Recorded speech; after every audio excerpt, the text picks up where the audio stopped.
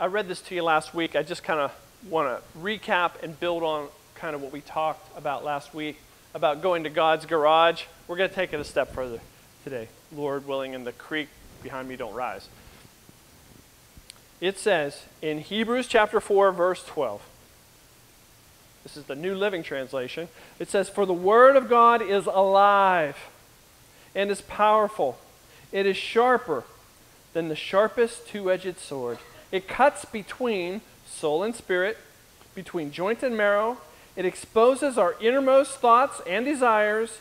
Nothing in all creation is hidden from God. Everything is naked and exposed before His eyes, and He is the one to whom we are accountable. And the prime target of all this is the Word of God. The Word of God changes everything and everyone. Uh, this is the month of Breshit, where the Hebrew people study the Word of God from the beginning. And the Hebrew word Breshit literally means in the beginning. And in the beginning, God. You could stop there. You could put a comma. You could even put a period there. He existed before all things. And what he did was speak. And what he said was, let there be. And when he said that, it beed. it was, however the English says that. he spoke the world into existence, and one of the last creations was, was mankind. And when he made that person, he made it in his own image from the dust of the ground, breathed into him the breath of life, and he commanded him, Be fruitful and multiply. And he couldn't rightly do that until there was Eve, and then we had Eve, and he said, Whoa, man. Whoa, man. No? Nobody? Okay, never mind. I know. Felt, felt flat there. Whoa, man. All right. So here we are spirit, soul, and body the creation of God. And uh, as we sit here today, we experience this thing that God calls salvation. The Word of God calls it salvation. Because we need a saving, don't we, boys and girls? And uh, I think you're pretty much aware of this fact that religion doesn't save anybody. Ideas don't save anybody. Laws kept or broken do not save anybody. Only one thing saves people, and it's better than a thing. It's bigger than a thing. It is God Himself in the flesh as Jesus Christ. That is our salvation. Everybody with me on that one? Good. I want to read something to you from Romans 10, and I want to talk about salvation, spirit, soul, and body because all three of them in you need a saving. Uh, I looked back in Deuteronomy 30 and I kind of got some insight into this part of Romans 10 that I won't read, but I'm going to actually pick it up uh, in Romans 9. But, but the, the pickup part that I read and studied in uh, um, Deuteronomy chapter 30 was God did not make his word or his ways unattainable to you. He did not hide it in heaven, and He did not hide it in the lowest depths of the earth or in the bottom of the sea. But the Word of God is near you, it's even in your mouth. When you quote the Word of God, you honor Him. When you quote the Word of God, I'm not talking magical thinking here. When you quote the Word of God, when you say it out loud, the universe, the universe says, wait a minute, I know that. That's not you speaking, that's God. That's His word. His word is eternal, it's quick, it's powerful, it cuts through, if you don't mind me saying this, it cuts through the crap. The Word of God doesn't play games, the Word of God does the job. And in our case here, the Word of God brings us salvation. Let me read to you in Romans 10. I'll start with verse 9. If you confess with your mouth that Jesus is Lord and believe in your heart that God raised him from the dead, you will be saved. For it is by believing in your heart that you are made right with God. And it is by confessing with your mouth that you are saved. Verse 11 As the scriptures tell us, anyone who trusts in him will never be ashamed or disgraced. The Jew and the Gentile are the same in this respect. They have the same Lord who gives generously to all who call on him. For everyone who calls on the name of the Lord shall be saved. But how can they call on him to save them unless they believe? And how can they believe in him if they have never heard about him?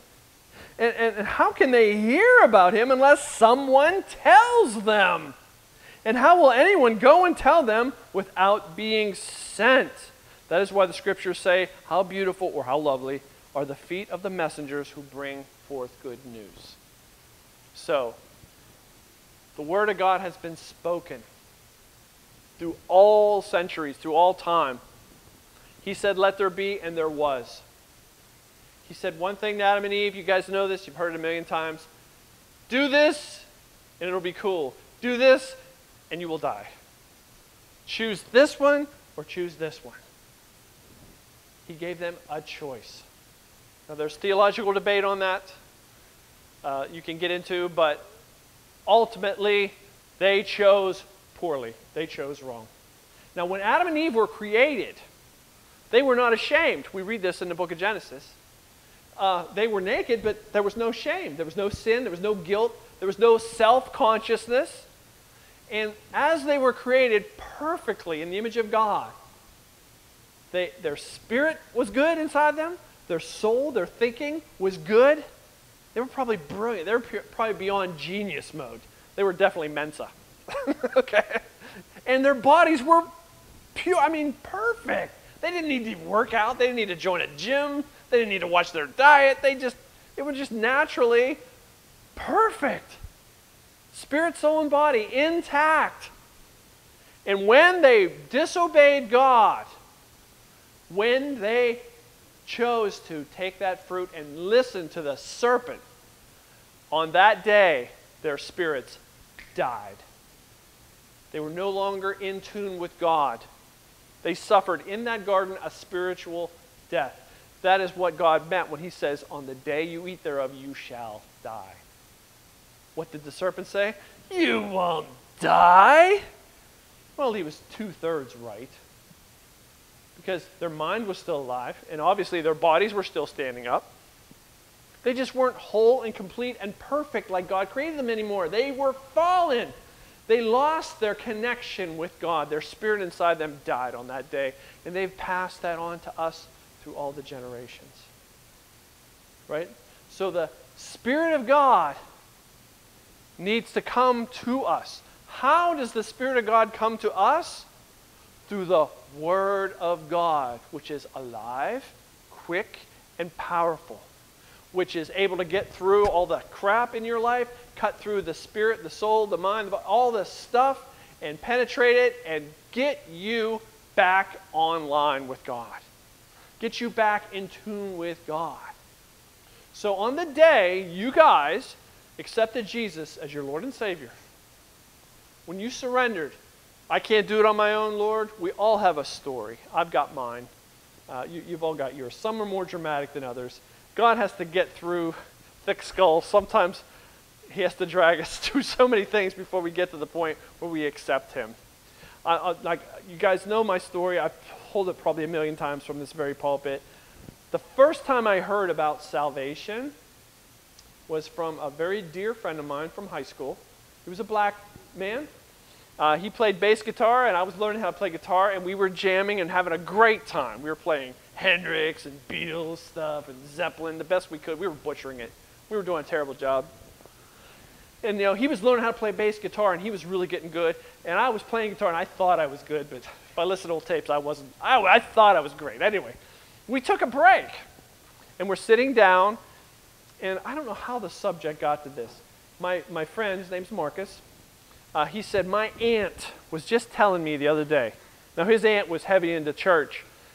Uh, Marcus got drugged to church but by his own admission, he didn't understand anything that was going on. He didn't know what any of these words meant. But he said to me, I may have been 15, 14, 15, around that age, I cannot remember. But I remember where we were sitting. And he says, My aunt told me that unless you're born again, you're going to hell. And I remember that hitting me like a ton of bricks. That's how I heard the gospel. It wasn't dressed up, it wasn't neat, it wasn't seeker sensitive. It's like, do this or go to hell. That's how it was presented to me. I don't know how you heard it the first time. I'm like, wait a minute. I was like, I think we were drinking iced tea. I almost spit my iced tea. I'm like, what did you just say? He says, yes, you have to accept, according to my aunt, he, didn't, he wasn't speaking from personal experience.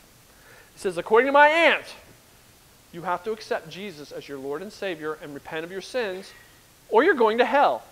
I'm telling you guys, that's exactly what he said to me. And I immediately knew he was right. I didn't question what he was saying. My statement to him was, Why didn't anybody ever tell me this before? I mean, I'm 15 years old. I thought I knew everything, right? How could I have not known this? How could I have never heard this? I visited churches from time to time, not often because I was not a good boy, but I didn't. My parents weren't churchgoers. They didn't force me to go, so I just didn't go. I knew zero about the Bible. I knew zero about Christianity. But the first time I ever heard the gospel, that's how I heard it. That word spoken was like electricity to my soul, and it changed me. I couldn't get over it. I have to accept Jesus as my Lord and Savior, or I'm going to hell. I couldn't escape those words. I know that sounds harsh, but ultimately, if you boil it down, that's true. Jesus doesn't want you to go to hell. That's why he gives us good news. That's what gospel means good news. So, my thinking, of course, you know, if you know me, I know this is true. I know this is right, but I'm having too much fun drinking and smoking and carousing and rocking and rolling with my friends. This is for old people this isn't for young people, the salvation stuff. So I'm going to put that on the back burner and pray against all odds and roll the dice here that I'll survive to old age and maybe have the presence of mind when I'm much older, after I've had all my fun. I'll accept this Jesus because I absolutely believe he's true. I mean, he's ama- I've always felt Jesus was amazing. I just never understood anything. And nobody ever explained him to me, ever. The first explanation I get is, accept him or go to hell. I'm, I'm serious, that's what I got. And I knew it was true. So um, then the Lord started bothering me. He started plaguing me everywhere I turned. It was Jesus this, Jesus that. And then ultimately, you know the story. My girlfriend got saved, and then she drugged me to church. And then I accepted the Lord, and everything changed, and I was born again. Well, long story short, salvation occurred in my spirit because of the finished work of Christ. He, he died, according to the scriptures, rose again, according to the scriptures, ascended on high. He is seated right now at the right hand of the Father, making intercession for all of us. And one day, the Father's going to tap him on the shoulder and say, Go get him, boy. And he's going to come back. And those who are dead will hear that voice, that trumpet sound, they will meet him in the air. And we who are alive and remain at that time will be caught up together with them and meet him in the air. This is all future tense stuff. This is, this is stuff coming. And uh, what am I going to do right now? You know? So my spirit is now turned on. I believe he's real. I believe he's my Savior. But my brain isn't in tune yet. So although my spirit is connected with God and the lights are turned on and I'm able to read the Bible and kind of get something out of it for the first time in my life, the Spirit of God inside me helped me understand it little by little, very slow. But my way of thinking, you guys know this. I was a blockhead, man. I didn't know what I was doing. I talked a lot, but I didn't understand what I was even saying. I talked through my bottom a lot, I must say. I, I, I was trying to tell people about Jesus because I really felt a love for him, but the words I used were not great or sophisticated or even educated. I couldn't quote, quote scripture because I didn't know any. All I know is Jesus good, devil bad. You know, like a caveman preaching, you know, whatever you want to call it. So, this process of my intellect, my attitude over the last 40 plus years, like I, I, I talked to you last week, God has taken me to the woodshed so many times to deal with my thinking or my misthinking or my speaking or my misspeaking, which was the majority of the time. So many times, even though I was a Christian, even though I was going to heaven because Jesus saved me, my brain was dysfunctional. My attitude was bad. My whole reasoning faculties needed transformed. And if you read in Romans 12, I quote this all the time present your bodies a living sacrifice, holy and acceptable. This is Romans 12. Uh, and be not conformed to this world, but be transformed by the renewing of your mind. Then it goes on to say how you will learn the perfect will of God. So the spiritual part of you hears from God and learns His will. By the intellect of you being under the sound of the spoken word of God, which gets in between your ears, rattles around, cleans house as it goes, changes things about how you think, how you feel, all the chemical reactions that we all naturally have, that we relied on all our lives, and now we're learning that wasn't the best way. There's a better way. And we learn through our salvation of our souls, our psyches, our intellects, the renewing of our mind. This is a process. We learn as we read, as we study, as we pray, and we change and we become transformed. And our mind gets renewed by what? By the hearing and hearing of the Word of God. So, our spirits are saved. Done deal. Our intellects, our soul, our thinking process, we are a work in progress. We are a work in progress. None of us here are perfect. We don't think perfectly. We don't understand entirely. We see through a glass darkly. But as we go, as we submit, as we learn, as we change, we kind of see more and more. And He turns the lights on more and more as we get into it. Right? Now, I've talked about the Spirit. I talked about our soulish, what the Greek word for our soul is psyche uh, where they get the word psychology, the study of the human mind and the emotions and all the inner parts of you that you know that, that needs dealt with and healed. So many of us do need healed that way. Uh, and then we got our bodies. Well, obviously, our bodies aren't saved yet. our mind is in the process as we learn and study and pray. Our spirit is already saved. So you got one done deal, one work in progress, and then the last thing on the equation here is this body. What do we do with this thing? Well, we dress it up, we give it a new paint job every seven years. we work out, we try to watch what we eat, we try to do this and not do that. And, uh, you know, some, some days we win, some days we lose, right? It's a, this life in the flesh is, a, is the struggle. I mean, this, this body enables us to walk around and to live and move among our brothers and sisters. But this thing here, I don't want to be negative, but if you have a picture of yourself 20 years ago, I'm not talking about you kids. Hold up the picture of you 20 years ago and put it against the one right here. If you, if you could see my, this guy's dying. he's dying, man. He's not, he's a, he's a, a vague resemblance of what he was, you know, and it is true. I meet, uh, I meet friends of mine that I knew back in high school, and they say, Oh, you haven't changed a bit. And I say, You liar. You're a liar. I'm nothing like. I remember when I graduated high school in 1979. I weighed 145 pounds soaking wet. I had really long brown hair, and I had a terrible slouch. My, I, my back was all hunched over like this, and, and I always got told about it. I always got told about it and I never did nothing. I just had lousy posture. So when you measured me, I may have been 5'10, 5, barely 11. Depends on how straight I stood. After I graduated high school, right, I, uh, I, got, I got it in my head well, if I just throw my shoulders back and stand tall and get used to that, I'll look more like a man and less like a freakish, long haired Cousin Itt kind of thing, right? So I decided when I get up in the morning, I'm going to make a conscious effort. I'm going to throw my shoulders back and stand tall. And after doing that for quite some time, I, I had to go get a checkup or something. He did my height, and I'm like 5'11 and dot, dot, dash, dash. Not quite six foot, but I'm as close to six foot. If I wore heavy socks, I'd probably be six foot tall. So, and then they weighed me.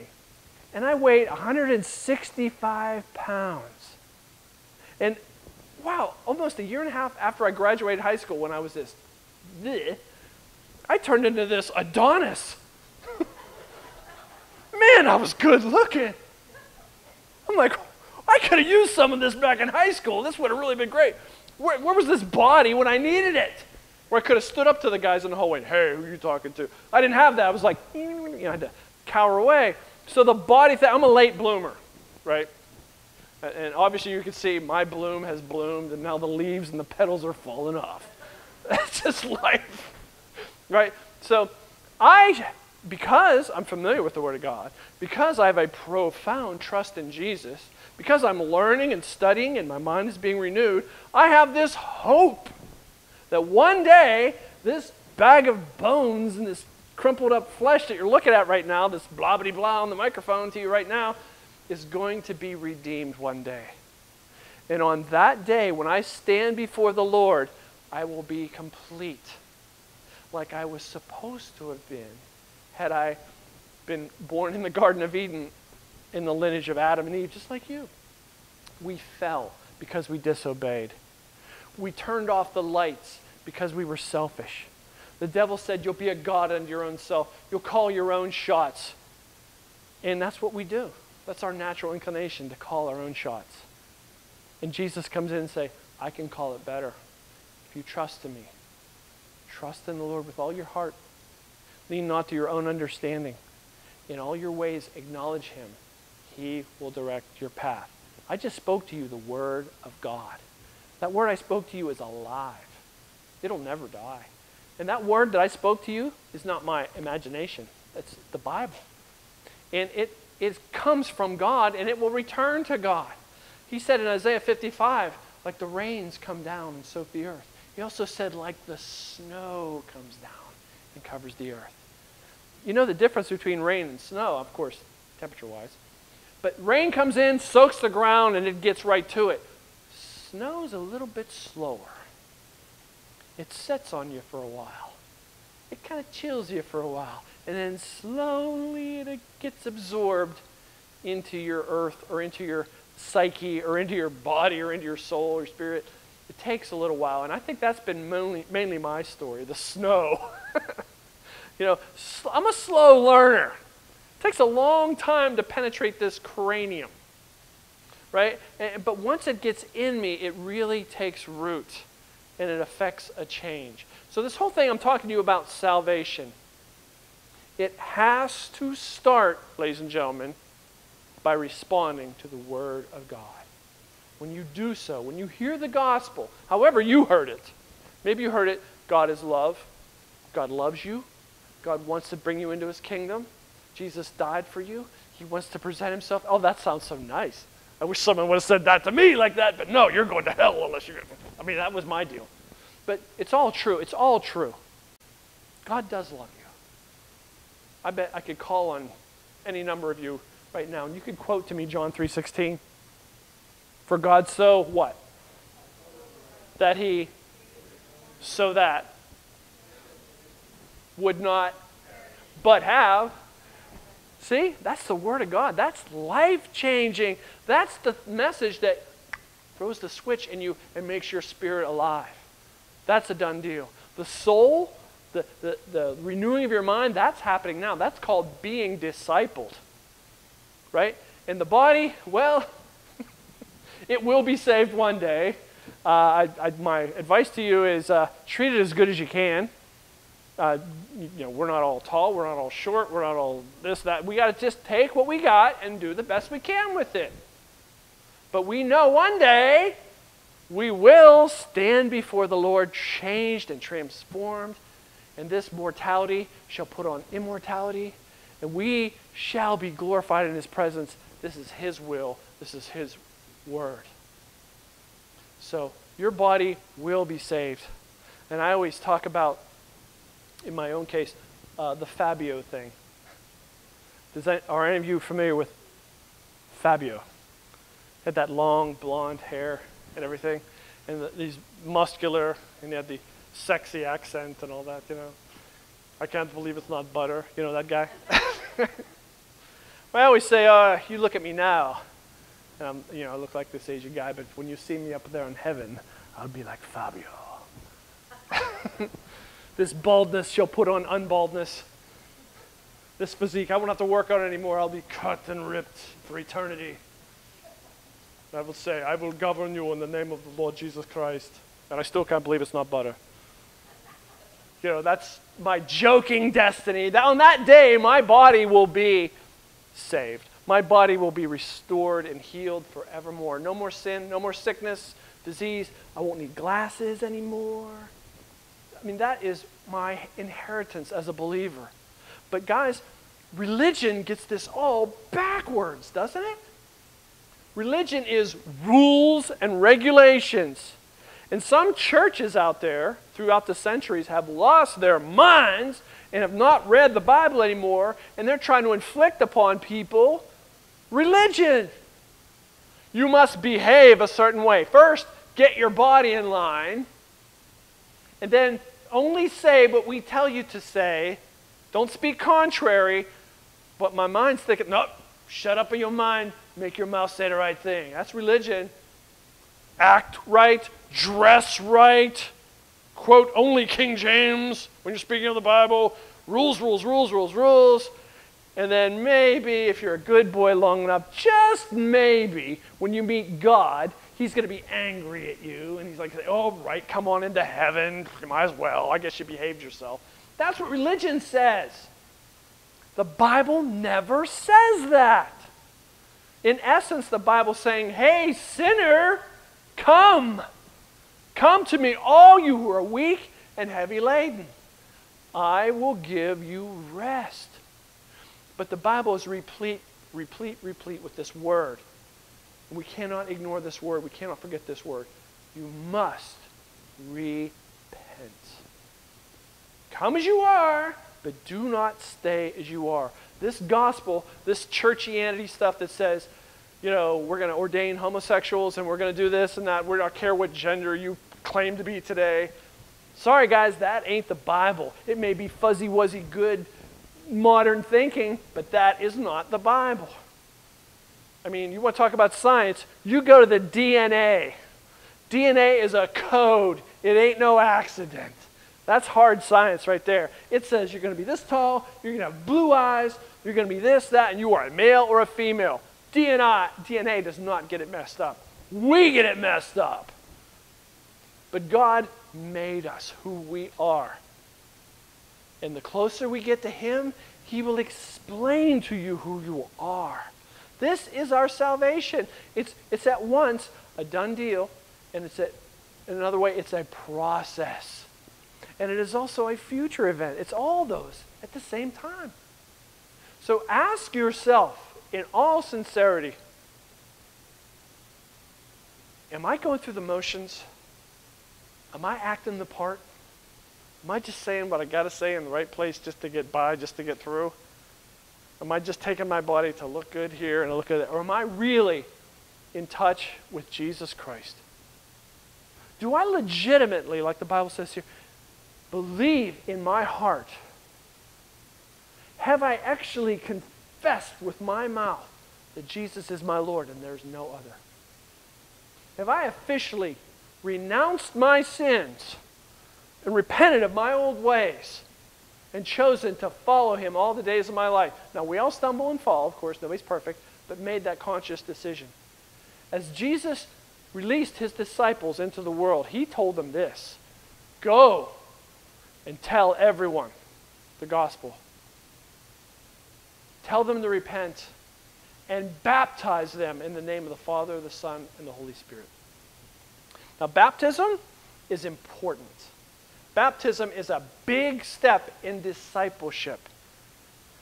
When you, when you submit to water baptism, you are being humble.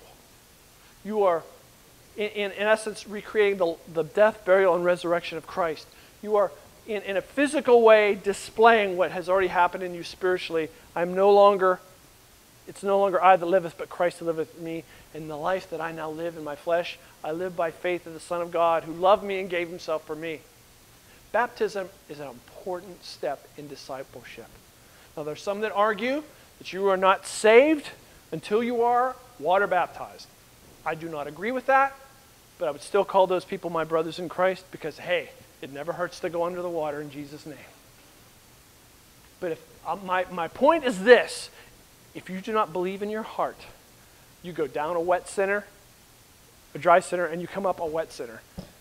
The baptism itself does not save you. The risen Lord Jesus Christ saves you. And we learn this by His Word, His Word that is powerful and sharp. It cuts through the bull. I'm sorry, I'm just going to say that because that makes the most sense right now. Genuinely saved, genuinely sold out to Jesus and you're not ashamed to publicly display it by going and taking the dunk and coming back up and living warts and all in front of the whole world to see in Jesus' name, learning, growing, changing, and painting this body the best we can to get through this life, taking our vitamins or whatever we need to do, whatever doctor's advice we need to get through. Yeah, but one day we'll have a glorified body. That's part of our promise. But unless we turn that switch on or allow Jesus to turn that switch on and submit to Him, we're still lost in our sins. You could sit in a pew for the rest of your days if you haven't made that firm commitment in your life. You're still lost. That is not a popular message. That is not a message because hey, I could lose people if I if I start telling people the truth. People are going to stop coming to church. You know what? I'm surprised you came anyway. Tom Milnes is going to be there. God, why? You're here by the grace of God, and I thank you for it because it'd be mighty lonely without you, like I say. But it ain't about me. It never was, and it never will be. I'm damaged goods that God looked into and says, I can use a guy like that. I can take the foolish things of the world and confound the wise. I'd never been to college. I drove through a couple, stopped and had lunch at a couple, but I never went to college. I took an online course. I got ordained. But uh, you know, I took a course in bibliology. Uh, I took uh, courses in uh, the book of Romans, the book of Acts, uh, Genesis, Exodus, Leviticus, Numbers. I've been studying and asking questions for well over 40 years and going to Bible studies and praying. And the Lord called me to stand before you all to teach, and I do the best I can with what I have. And, and if I don't put the Word of God out there, I'm wasting your time. I'm not here to entertain you. And if I say something that offends you, I hope I offended you with the Word of God and not my obnoxiousness. God loves sinners. And yes, my friends, we are all sinners. We were born sinners. Paul, the Apostle Paul says, Christ came into the world to save sinners, of whom I am chief. Now, if the Apostle Paul thought he was the chief of sinners, where does that leave me? Paul had to repent. So Paul, he was big into religion. He, had, he was way into his Hebrew religion. And in his mind, in his thinking, you can read this yourself in the book of Acts, chapter 9 and 10, that area. Uh, he was going to wipe out this church because he felt the, this new way, following Jesus, whoever that is, he thought that was going to mess with Judaism and, and Hebrew and, and the way of the Jews. So he set out to destroy it. That was his heart and that was his thinking. And on his way, with letters, warrants for arrest, on his way to Damascus, he was going to find Christians, chain them up, bring them back, put them on trial, and stone them to death. Right? That was his mission, that was his agenda. On his way, a bright light shone on that road to Damascus, knocked him on his face in the ground and a voice spoke to him Saul, Saul, why are you persecuting me? Wait a minute, man. That's my religion. These are the things I do, man. This is how I operate. This is my operating system. I, I, I follow the law of Moses, right? And I keep that, and these people are messing with it. So, uh, what do you mean persecuting you? And, and, and Paul looked up at this voice in this light. He says, who are you, Lord? Can you imagine? Oh, he won't get you. He's tame. So he said, Who are you, Lord? Didn't know him. This guy who studied the Old Testament his whole life, a Pharisee, didn't know who was even talking to him. And Paul had a life changing experience right there. I am Jesus, who you are persecuting. So Paul had a revelation that day, right? Everything I've been about my entire life has been wrong. My whole mission, my whole agenda has been wrong. So Jesus met him on that road, changed everything about him. He was blind for a few days. And uh, he got healed, and then he went and got water baptized, and then he started learning and growing. He went out in the wilderness of Arabia, and he met with the Lord, and the Lord revealed to him all that stuff about the Old Testament. All along was talking about me. It was the Word of God that changed Saul into who we know now as Paul. The Word of God did the transforming work in him. And I, have read history books and, and, different commentaries about Paul. Uh, from what I understand, he was not a handsome man. He was short. He was, I mean, most accounts say he was bald. Some people he said he had really bug eyes and they were kind of mangy looking, sick looking eyes. And, and some even say he had a big crooked nose because he got beat up so much for being so obnoxious and forward. And, and some even say, some of the accounts say, he had a really screechy, unpleasant voice. So reading his letters, that was one thing. But when he was with you, eh, talking to you, you might not want to listen to this guy for an hour. You know what I'm saying? But this guy, when he turned around, when the Spirit of God reached in him and clicked the lights on, I'm telling you what, he changed the world. God used him to change the world. His agenda changed, his attitude changed. And that creaky, squeaky old body that he walked around with, it's going to be changed on that day. All the departed spirits uh, are with Jesus now, but when those bodies, whether they're in the belly of a fish, at the bottom of the sea, in this burned out building, God knows how to work all that out. I don't understand how he, he does the resurrection thing. He's got that worked out. But when Paul on the day of resurrection, meets his new body and his soul and his spirit, he will be complete in heaven. And you and I will be standing right there with him, completely saved, completely restored. This is the heritage of all Christians. Now, why am I harping on all this salvation stuff? Why am I talking about this? The Word of God comes into your life and it changes you. You respond to it, you confess it, you repent, and if you need to, I encourage you very strongly to be water baptized. I, I, encourage that very much. We can get that done for you. You approach me if that's something you want to do. If the Lord's put that on your heart, we can get, we can make that happen for you. I'll dunk you. Haven't lost one yet.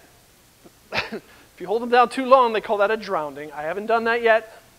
As long as I bring you back up and you can still breathe, mission accomplished. But think about that. Think about if you want to sell out and really be 100% Jesus's and do that publicly. That's, that's an amazing thing. Be his disciple. Pray, read, study. Get to a place where you can hear the word of God regularly. Grow, change, and eventually the end of your story is you physically will be glorified. Right? If you have that hope, if you have that desire in you, if you have that reality taking root in your soul, this world is not going to bring you down. You're going to say, I'm just passing through. It's a shame all the stuff that's going on. Hey, wherever I'm at, I'm going to bloom where I'm planted. I'm going to make an impact. I'm going to stand up for Jesus and what's right. I'm going to stand up for my family. And if I have to, I'll stand up for my country. I'll do everything I can. Yeah. But this world is not my home. I'm only passing through. If you have that attitude, man, it lifts the whole burden of this, the cares of this world. Have any of you ever read Philippians 4? This is like the impossible chapter. Philippians 4.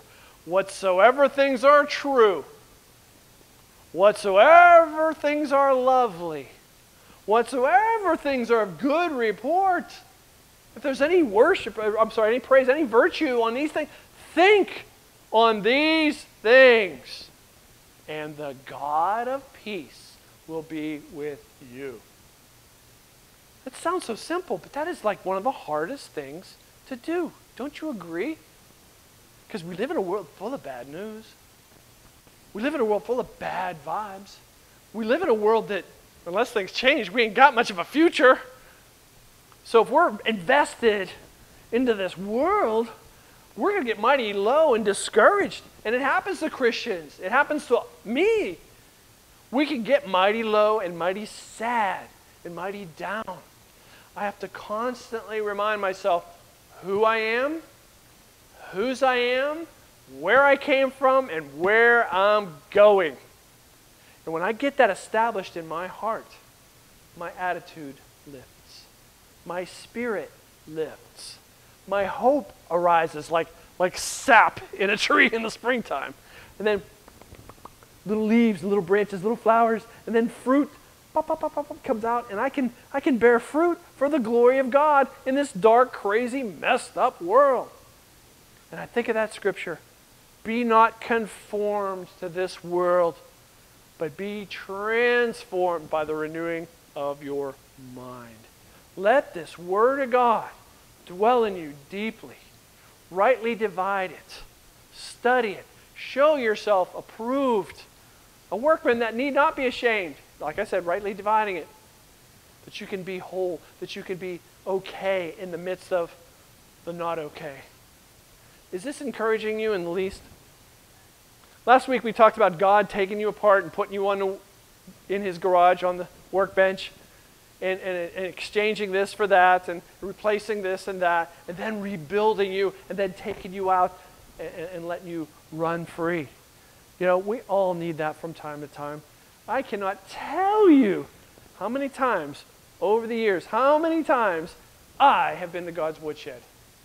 How many times I got off on my tangent, my thinking, my emotions, my this, my that, and God had to say, whoa, whoa, whoa, whoa, whoa, come here, come here, come here, come here. Slap the head.